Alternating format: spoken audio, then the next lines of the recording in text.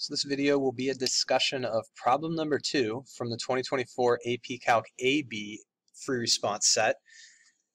This is the second of the calculator questions from 2024 and it's a pretty common theme to see in position two within a free response set. So this version of number two says a particle moves along the x-axis so its velocity for times that are positive is given by this function.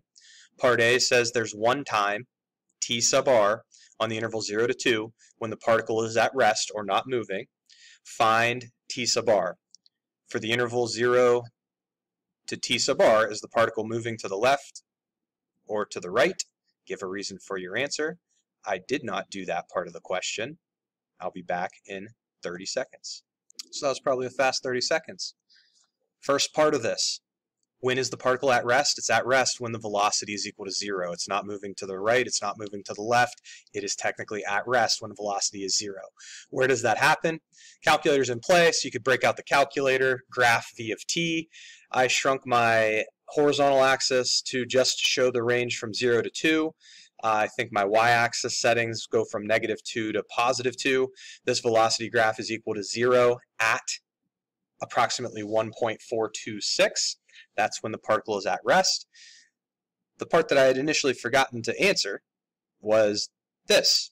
So on the interval 0 to t sub r, so on this stretch of time, is the particle moving to the left or to the right?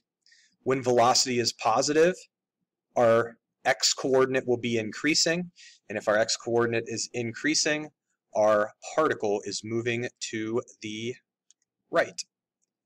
Part B asks us to find the acceleration at time 1.5. Show the setup for your calculation. Is the speed of the particle increasing or decreasing at time 1.5? Explain your reasoning. So you don't need to take this derivative by hand and then evaluate it at 1.5. Hopefully you recognize that the rate of change of velocity is acceleration. So we need the derivative of this velocity function at time 1.5. That's going to be a numerical value, and you can use the numerical derivative option from your calculator. I have my TI-83 input right here. Uh, you can use your numerical derivative option on the calculator to find that the value of the derivative of velocity at 1.5 is approximately negative 1. Is the speed of the particle increasing or decreasing at this time? When velocity and acceleration are working together, as they are in this case, back in part A, this point is at 1.4. 1.5 is obviously a little bit to the right. So velocity is negative at 1.5. Acceleration is also negative, as indicated by this calculation that we just did. When velocity and acceleration have the same sign, when they work together, speed is going to be increasing, and that is the case here. Velocity is more negative, and it's getting more negative due to the negative acceleration. Part C says that the position of the particle at time 1 is negative 3. Find the position of the particle at time 4. Show the setup for your calculations. So I know the position at time 1 is negative 3. I want to know the position at time 4.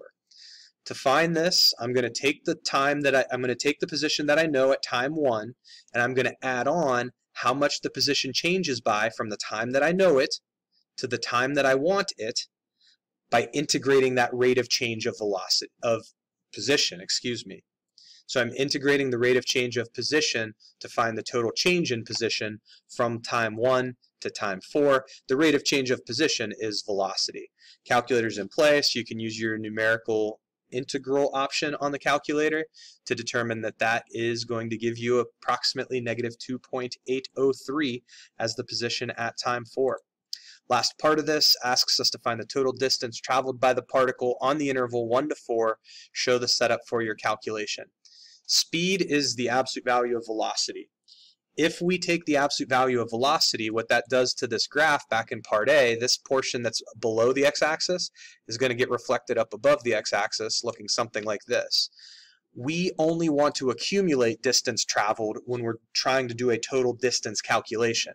So if we do the integral of speed or the absolute value of velocity, or any of those velocities that were really negative get reflected up to positive velocities, that will give us our total distance. Here's the setup for the calculation. Calculations carried out on the calculator, and we end up with a result of approximately 0.958.